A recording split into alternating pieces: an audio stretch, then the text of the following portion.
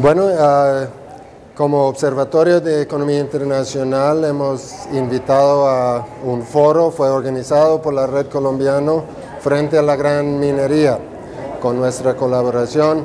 Uh, el foro se llama Minería en Colombia, locomotora fuera de control, uh, para analizar el papel de la minería en Colombia como sector clave, como sector base de la estrategia actual del Estado colombiano, um, la estrategia económica.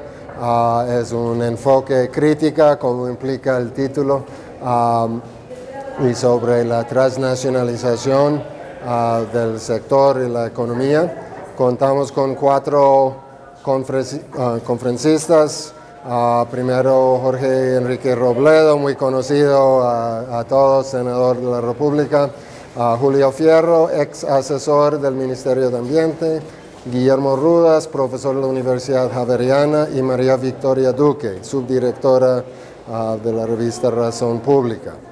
Y el intento es dar una profundización a la cuestión de minería, de un enfoque muy interdisciplinario Ah, que es el único enfoque que realmente nos ayuda a, entender. Es una estrategia económica, tiene grandes implicaciones ambientales, enormes ah, implicaciones ambientales, uh, un tema de mucha importancia política y geopolítica, ahora que con el nuevo intento de revivir el, Tratado de Libre Comercio con Colombia, entre Colombia y Estados Unidos toma de nuevo aún más importancia porque el tratado va a tener muchas implicaciones para el sector. Es un sector que se basa en gran parte en inversión extranjera um, con muy poca regulación um, doméstica y en el contexto en general de la transnacionalización, que incluso ha sido un tema importante en los ah, debates y conflictos recientes alrededor de la universidad. me parece un tema de extrema importancia para el país en este momento.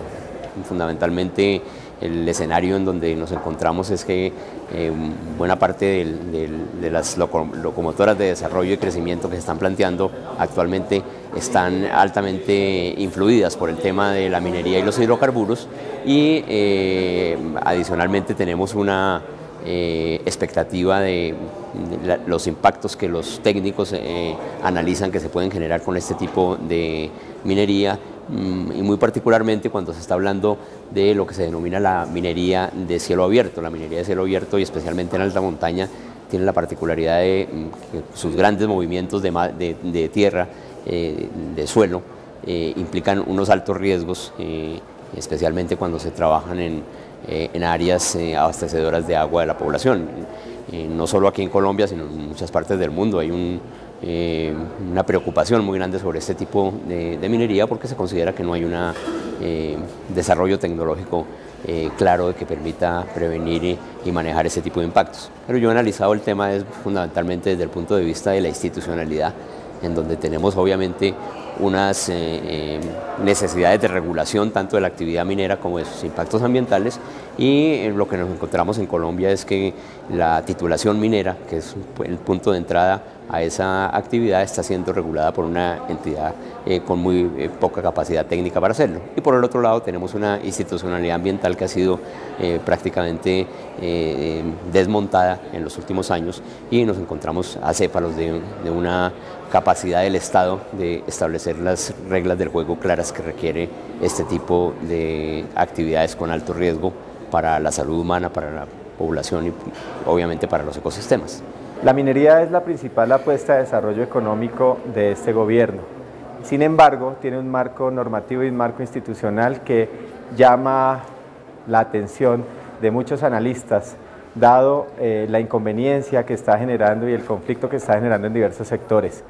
Eh, voy a concentrar eh, esta intervención en la minería sobre el ambiente y sobre los grupos étnicos. Sobre el ambiente, es bueno decir que Colombia es el país más diverso del mundo. Esos indicadores han sido generados por diversas instituciones eh, científicas del orden mundial. En esa En ese país megadiverso es probable que la apuesta minera no sea la adecuada.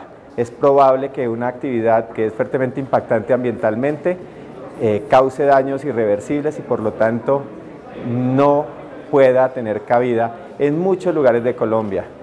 También parece ser muy inconveniente la apuesta minera de minería de metálicos que es altamente contaminante cuando es eh, en yacimientos muy poco concentrados, en zonas de abastecimiento de agua potable para colombianos. Entonces, ¿qué hacemos ante eso? En zonas étnicas están prácticamente obligando a los indígenas a hacer minería, o la hacen ellos o permiten que otros entren cuando para los indígenas la definición de territorio pasa mucho por la sacralidad. Cuando es el territorio el que define los indígenas, debería haber unas normas y debería haber una política mucho más adecuada de qué es lo que, lo que merece el país como desarrollo.